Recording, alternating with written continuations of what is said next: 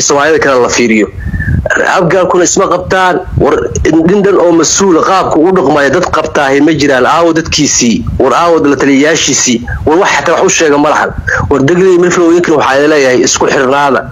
War dhulkiinii difaacda war dhulkiinii u naxa aayihiina dambe u naxa yaan la gaadin oo yaan been lii sheegin yaan la khiyaanayn. Su'aal haddaan ku weydiiyo digli iyo mirifle iyo xasan sheekh maxamuud oo hawiye matalaya heshiisay galeen in labada xisbi ay kala qaataan soomaalida kalena labada xisbi lagu jarjaro ee dalka ay awoodiisa qaybsadaan. Hadda maxay ka boodeen digli iyo waxay ka boodeen dee way arkeen baashi meel loo wado. Markii haddii mar la yidhaahdo baarlamaankiina awood ma lahan xisbigaasa idinku leedihiin. Xisbigana berita wuxuu noqonayaa xisbi muxuu ahaa magacoyaan uu noqonayaa oo la maamulo. Buu noqonayaa wax soconayana maaha wax soconayana maaha oo soomaali maanta way dareemaysaa soddon iyo dhowr sano ay ku soo jirtaa burbur. Xilli muxuu ahaa maanta waxaa moodaa qaabka xasan sheekh u dhaqmayo qaabka sagaashan iyo kowdii baa moodaa in loo dhaqmaayo. Mana aha waa laga gudbay waxaas hadeer soomaalidu meel walba ay joogta qabiil maanta qabiilka awood badan ma jiro. Xitaa laakiin haddii khiyaano aan ku jirin xataa oo la yidhaahdo awoodda dalka hawiye iyo digil iyo mirifle bisaa qaybsanaya daarood iyo dir iyo danwadaagna waa la daciifinayaa xisbiyadana lagu kala dardaraya masaakiina laga dhigaya. Sida haddii la yidhahdo xataa ma cadaalad ba? Cadaalad maaha mana soconaysaba. Maba soconaysaba. Isaga haddii mar la yidhi awoodda madaxweynaha iskale la yidhi oo muxuu ahaa mar walba waxay noqonayaa dad la iibsado. Iyagoo xitaa xisbiya waxay noqonayaa dad loo meeriyo siyaasadooda dad lagu shaqaysto in laga dhigaa la rabaa. Waayo inay aada u jecesiin yihiin la arkay waxaa la rabaa hadhow xitaa haddii taa ay dhacdo iyagoo xisbiya oo la leeyahay awoodda ninka iskale niman gagaara in laga soo kaxaysto oo nimanka xisbiga madaxda laga soo kaxaysto la maamulo lagu maamulo siyaasada xukunka lagu maamulo la laaluusho in laga dhigaa la rabaa marka oo weligeedna muxuu xasan sheekh uu kursigan u haysto iyo muxuu aha iyo hawiye ay haystaan. Marka soomaaliya maanta way siman tahay. Qabiil qabiilka awood badan ma jiro. Soomaaliyay dantiina garta.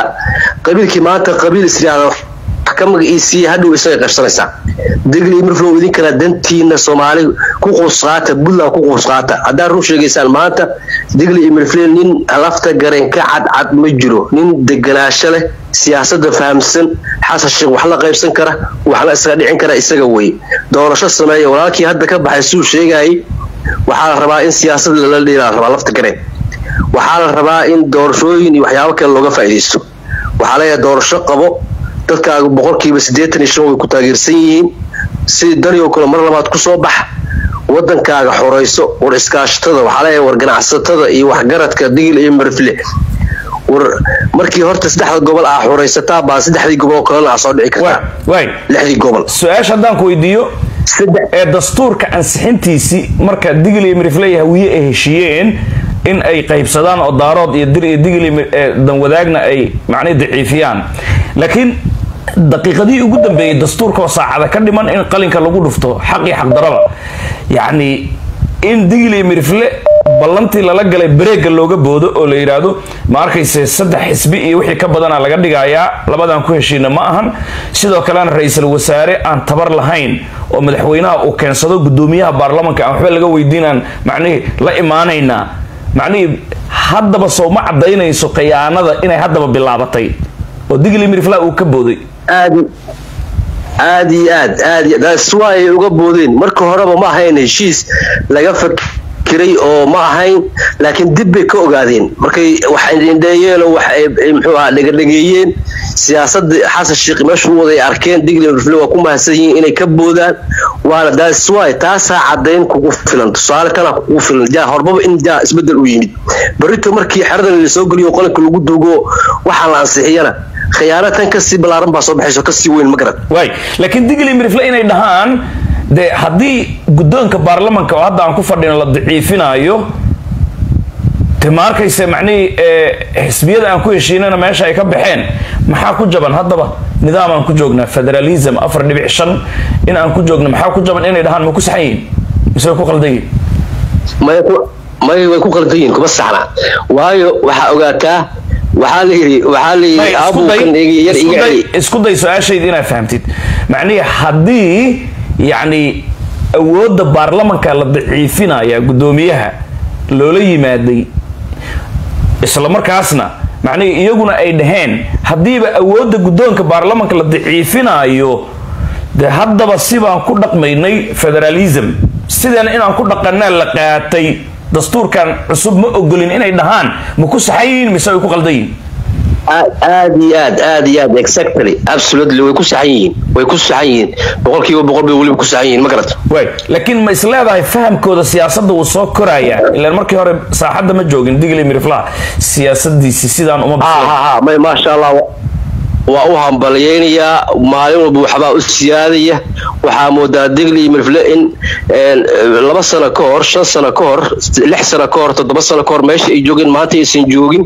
Inay siyaasadii soo fahmayaan inay rag iska dhicinayaan inay wax fahamsan yihiin. Waxaana rajayn doonaa maalin maalinta ka dambeysa inay wax fahmaan soomaalidu qaabkay u dhaqmayso qaabkay wax u qaybsanayso inay fahmaan inay isku xiran yihiin gacmo wada jir bay wax ku gooyaan. War dadku dadka soomaalida maanta dadka ugu badan waa digli mirfle haddana badanaa oo baraka daranaa waa maqli jiri. Inay bataan oo wax baraka ay wax micnaan aysan lahayn badnaasho waxba u tari maayo. Adduunka wax yar oo caqli leh oo wax maamuli karo oo wax iska dhicin karaa la rabaa. Xoogna idinkuma yara hantina idinkuma yara maanta. Adduunka dadka ugu badan ee ganacsadaha iyo africa iyo soomaaliya gudaheed iyo asia iyo yurub iyo america meel walba dadka hadday noqoto ganacsade hadday noqoto isdhexgal bulsho hadday noqoto wada noolaasho degli mirfle maantaba waa number one. Dad kaga horeeyaa ma jiraan. Keliya ha ku dareen inay siyaasada soomaaliya meeshay u socoto inay fahmaan oo sida soomaalida siyaasadaha dadka soomaalida kale waxba qaybsanayaan inay fahmaan oo ay gartaan ay aayahooda iyo danahooda dhuleed siyaasadeed jiritaan inay ka fakeraan waayo mustaqbalkooda ilmahooda dambayntii waqtiga ay kulaalaayeen macnihii xasan sheekh maxamuud digli mirif puntland markay warqadda soo saartay. Haddana digli mirifle saacada gudahooda markuu yidhi annaga waa ka baxnay. Oo kuma jirna filankan xasan inuu yidhahdo wixii o dhan waa ka tanaasulay maxay ka dhigan tahay? Macnihi in baridii salka loogu dhaqay miya aad iyo aad absolutely waa iska caddahay in laga adkaaday. Dee awalna umaba soconaynba awalba macnihii isagana wuu ogaa inaysan u soconayn. Wadaasmaya kuuleeyahay waa nin lagu shaqaysanayo fara badan istiro badan laga haayo oo la leeyahay war saan yeel saan yeel. Waayo ilmaha xaal dhashay baa dareemi kara waxaan wax soconaya inaysan ahayn. Dastuurkan soomaaliya si xun baa lagu ansixiyey sideed boqol iyo intaasoo ergaa ansixisay. Muxuu ahaa dhibaata laga soo maray in daqiiqado gudahood dad isu yimid oo muxuu ahaa baarlamaan waa ogtahay kuraasta isku garaaca wax walba isu sameeyo oo waxay rabaan la soo marsado oo laaluush iyo balaayada kala qaataa ogtahay in masiir dhan oo ummadeed iyo dastuur dhan oo ummadeed oo soomaaliyeed in saacado gudahood iyo maalmo gudahood iyo bilooyin gudahood wax intaasoo afartan iyo sagaal qodob iyo sagaashan in laga bedelo oo dastuur cusub loo sameeyo inaysan soconayn qof walbaa arkaysay laakiin waxaa is dhihi karaa keliya aniga qof kasta qofka hadduu tuug yahay xitaa mooryaal hadduu yahay xitaa khayr mas'uul kasta uu yahay haddana caqli baashi in lagu daraa fiican. Xasan sheekh waxaan uu ku soo dhiiraday ma aha wax ma garanaysaa muxuu aha qof xitaa qofka ugu liitaa xitaa uu ku soo dhiiran karo. Marka waa qof qasban waale ra'yigayga waa qof qasban oo muxuu aha la leeyahay saan samey haddii kale farahana banaanka kaa keenayna. Waa qof qasban oo lagu shaqaysanayo ma aad iyo aad baad u mahadsan tahay walaalkaas isaga waan u mahadnaqaynaa oo macnihii waqti ku filan ilaahay siiyey annaga ma siinin rabbiga ayaa macnihii maamulka wata nadiifo qaran ayaana soo wacday iyadana dib baan ugu celin doonaa. Haddii ilaahay uu ka raali noqdo haddii ay joogto aysan shaqo ku jirin inta badan way shaqaysaa sida aan qiyaasayo laakiin hadda waan ishaleelnay nadiif haddaad telefoonka u dhowdahay waxaa weeye dabayaaqadii baan joognaa marka. Ma arkaysa inkastoo bil cibaado ramadaan ay tahay shashaqaynana ku soco maxaad is leedahay? Puntland waxay soo saartay warmurtiyeed waa tii dhabarka ay ka toogatay madaxweyne xasan sheekh maxamuud. Haddana waxaa weeye digil iyo mirifle ayaa uga baxay. Xaaladda shirar baa ka socda magaalada muqdisho. Xaaladdu way ku xun tahay xasan waan tanaasulay buu taagan yahay laakiin hal qodob ha la ii daayo. Haye ku soco. Horta waa ku salaamayaa asalaamu calaykum waraxmatullahi wabarakaatu adigii inta kugu xiranba iyo inta maaragta idaacadda runsheeg ee halkan aan ku leenahay ku xiran kulligiin waa ina salaamaya waxaan leeyahay rabadaan kariim. Horta maanta waa faanayaayo. Halaygu qaatee see weeye hadday jooginiin waxaan u malaynaya laakiin codkaagaa gaaban faankaaga xogo in aad loo maqlaan rabaa ma ogtahay? Gabdhaha marka la nikaaxiyo alalaasaa dhaca. Marka macnihi ashuun hoostiisa maa kor waaye maanta maanta horta waxa weeye. De aniga maxaa faanka ii diida dadku way faanaan. Horta maanta waa faanaya niyo ayo ku soco faanka see weeyaad u tihiin daarood haddaad tihiin waa faantami jirteen awal bay. Ku soco aada horta waa faanayaayo. Haddaanba see weeye laynii haynin. Niyo maalin walba sidii gabdhihii marna masar laynaga iibin marna israa'iil. An- annagana annagana suuraha daarood naagooda xataa ma guursan karno. Iyadoo tabcaan ku ah bayba arkaysa weligay ma arkin waa ka jiraya Annaga- adaayo annaga maba haddaan- rabnaba ku soco annaga haddaan tabcaanahay xataa ninka isuma jilcino aad iyo aad waa ogahay waa iswaalwaalaysaan idinkoo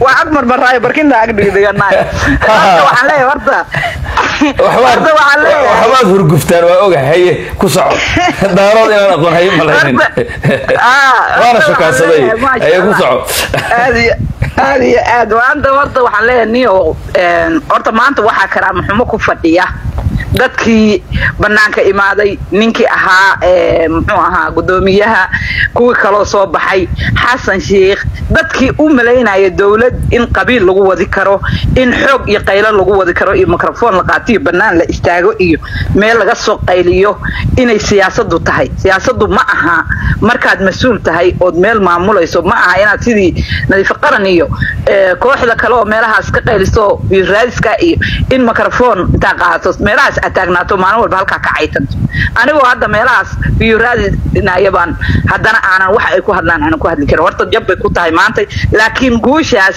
iyo iyo iyo iyo maaragtay sharaftaas reer puntland baa iskale waa inaana siisaan ilma adeerya inaa maantay xasan uu gobasha si fiican ugu fariisto awal wuu taagnaa moogta xasan inuu gobasha ku fariisto horta annagaa iskale marka taas waa intaas een, maxaa kuu soo haray? Xaqiiqda markaan u soo noqdo oo kaftanka iyo maaragtay waxa socda aan ka haro ina adeer waxa weeye xasan horta runta markaan sheegno. Xasan m- waxa weeye markii uu lahaa waxaan ahay ee, soomaali heshiisa dunidana la heshiisa ma ahayne ninka xasan ka rumaysta soomaali heshiisa dunkana la heshiisaan wadaa. Ninka ka rumaysta ninka geela nayndiwanka ku dhiganaya waxa ku xereeraysan iyo waxa la socda iyo kuwii la qaylinayana aynu ognahay ya waxa weye horta waa qof adduun kale ku nool buu ahaa. Xasan markaasuuba inoo cadeeyey inuu ninety one-kii dalka iyo dadkaba ku celinayo wuxuuna markii uu gubasha soo koray oo saaxadda yimi oo madaxweyne noqdana waa arkaysa meeshii dhexdeedii baa rag cadaana intay ishayn waayeen xataa in mikrofona hayaan. Ay ku dabaaldegeen oo sida aragta ay noqonayeen. Markuu u tegay odagii qabriga ku jira ee halkan ahaa ee adduunka isagoo jooga cadaabta ku socotay ee ismaaciil cumar geelle ahaana waa arkaysa inuu lahaa derbi baad naga dumisay marka xasan ninety one-kii uu uuyan filaynin in one dadku weli u ciil qabaan oo weli sugayaan oo weli hadalkaa ku dooranayaan markuu arkay oo xilki ku yimi taas waxay siisay moral bay siisay taas waxay siisay wax kale oo markii hore aanu ku haminayn inuu ku soo hamiyo. Inuu dhaho wallaahi dadkan maxay ahaytoy sida aad rabtaad ka dhamaysan kartaa? Dadkaanu ma rabaan dadka ee, maaragtay wanaaga u sheegaya ama raba inay noolaadaan ama raba inay adduunka la tartamaan ama ay raba inay dowlad noqdaan. Dadkan waxay rabaan dadka dulaysanaya iyo dadka ay ka cabsadaan. Adiguna dadkii baa tahay waadna aragtaa maanta waa heerkii waad joogtaa. Horta taasaa keentay inuu wax badan oo markii hore maskaxdiisa ku jirin isku dayo. Kuwii kale oo ismaaciil cumar geelle ka mid yahay masar ka mid tahay carabtu ka mid tahay kuwo kaloo qarsooni ay ka mid yihiin kuwa u shaqeeyayo ku shaqaysta oo adduunka jooga ka mid yihiinna ay markaa balaan cusub iyo system cusub u dhiseen. Intii uu xilka haystay waynu aragna waxyaabaha dhacay. Waxa ugu muhiimsan oo aniga itaabta oo anigu aan dalkan arkay xasan inuu meel xun ku wado waxay ahayd markuu ciidamada galay. Ciidan buu keenay meel ma ku sheegtaan bal ii sheega idinku ciidanka shala uu lahaa waa la baabi'iyey. Wuu keenay oo qurux badan meel laguma sheego. Wuxuu god u diray iyo wax caqli qabay oo reerahoodii iyo dalkoodii aadeen bay noqdeen. Kuwo kaluu keenay toos buu u kala diray. Kuwii horoo joogay waa aragtaan wuxuu ka beegsaday midimo meesha ay dadka eh, maska madaxa laga dilaa qaarka dambe lagama dila hadda mas aragto aad tiraado qaarka dambe aan ka dilaya dee wuu ku dilaya kanuu sun kugu sayro ama qaniyo kula gaaro waxbuu kugu dhifanaya akhirkana wuu ku dilaya isagu marka wuxuu bilaabay inuu madaxa ka dilo yuu madaxa ka dilaya marka. Xataa muu ku xisaabtamin wiilashan uu madaxa ka tooganayo maskan uu madaxa ka dilaayo inay yihiin dadka uu rabo xataa inuu berri xoog ka helo ama uu qabiil ahaan u kacsado ama shalaba uu ninety one ka ku soo kiciye. Kuwaas wuxuu dilay wiil walba oo dhaqaaqaya ilaa waynu ognahay dalka wiilashii dhalinyarada ahaa ee waday ee ciidanka madaxda u ahaa.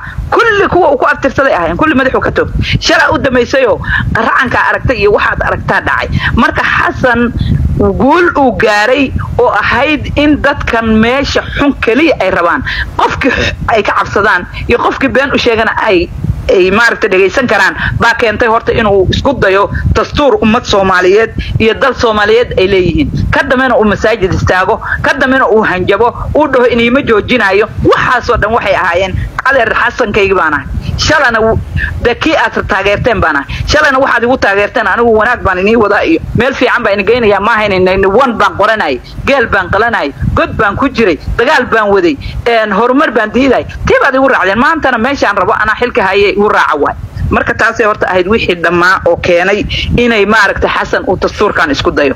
Maxaa kuu soo haray? Maanta meesha uu taagan yahay. Horta xasan waana doqon nasiib leh waana doqon nasiib daran. Waa doqon nasiib lehoo xasan wuxuu u yimi shalay kuwii banaanbaxaya waxay dhaheen ninkii eberka ahaa ee guddoomiyaha ahaa wuxuu yidhi soo ma ogidin wuxuu cafiyey dayntii. Soo ma ogidin wuxuu soo celiyey kan soo ma ogidin xataa ilaahay kama baqaayo.